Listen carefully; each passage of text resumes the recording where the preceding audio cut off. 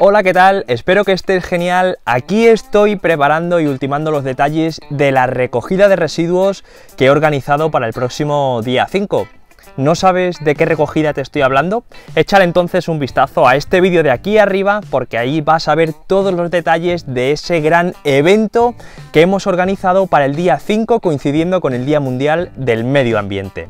Y estoy aquí ultimando detalles porque precisamente lo que estoy haciendo es el estadillo para la recogida de datos de ciencia ciudadana que haremos ese día en la jornada. Porque verás, una cosa es recoger los residuos, pero otra cosa muy importante es analizar esos residuos, ver la tipología, cuáles son más abundantes, para así poder tomar medidas y solucionar esos problemas. No sé si lo sabes, pero yo durante un tiempo trabajé como caracterizador de residuos que es un trabajo muy poco conocido, pero que es de vital importancia para la gestión sostenible de residuos. ¿Por qué? Pues mira, te explico muy brevemente.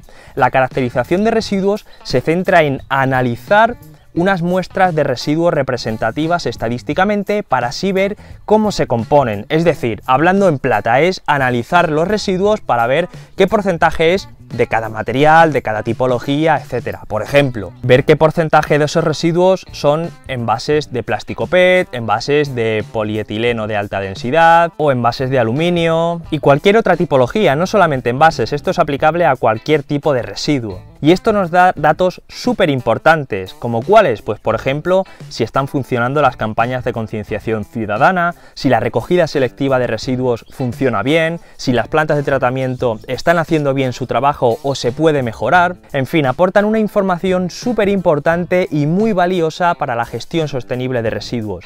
Y eso mismo lo vamos a aplicar en esta jornada. ¿Para qué? Pues para conocer los residuos que recojamos, saber qué tipología son, cuáles son los más abundantes y para ello vamos a contribuir todos los participantes. Y estoy aquí organizando el estadillo, pero no lo voy a hacer exactamente como las fichas de caracterización de residuos en plantas de tratamiento, sino que lo voy a adaptar a residuos abandonados en la naturaleza, lo que se conoce como basuraleza, incluyendo los diferentes artículos que nos podremos encontrar, ¿vale? Como puedes ver aquí lo he dividido en varios grupos, por una parte estarían los plásticos que se subdividen en botellas de bebida, envases cosméticos, eh, posibles cuerdas que se encuentren y más residuos que voy a ir anotando.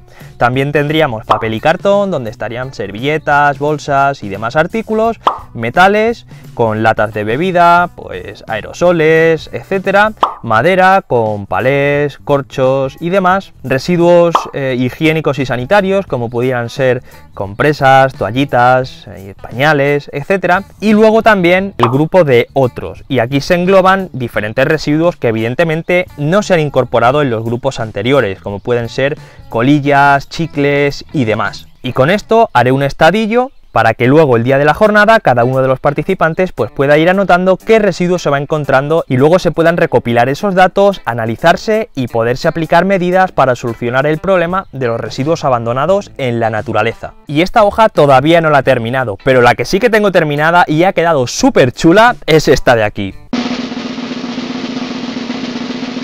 Suscríbete, ¿no? ¿Qué? ¿Cómo ha quedado? Mola, ¿no? Pues ya que estás aquí, dale al botoncito de suscribirte si aún no lo estás y así no te perderás ninguno de los vídeos que voy subiendo al canal. Y bueno, este es uno de los últimos detalles que falta para la jornada de recogida de residuos y la verdad es que tengo muchas ganas de que llegue ese día, pero ya no me preocupa tanto los pequeños flecos que puedan quedar sueltos, sino ya algo que no depende de mí ni de todas las personas que están participando en la organización de este día y es la climatología. Espero que nos acompañe el tiempo porque las previsiones que hay actualmente es que puede haber riesgo de que llueva. Pero bueno, Espero que al final el tiempo nos lo permita y se pueda realizar la jornada con total normalidad. Así que bueno, espero que este vídeo te haya resultado interesante, que conozcas un poquito más cómo se hace la caracterización de residuos, aunque en este caso va a estar orientada a la recogida de residuos en un entorno natural. Y si te ha gustado el vídeo, por supuesto te agradezco mucho tu manita arriba y si no quieres perderte todo el contenido, incluido el de la jornada de limpieza del que haremos una programación especial, suscríbete al canal si aún no lo estás y luego échale un vistazo a este vídeo de aquí que seguro que te resulta interesante. Nos vemos en el próximo.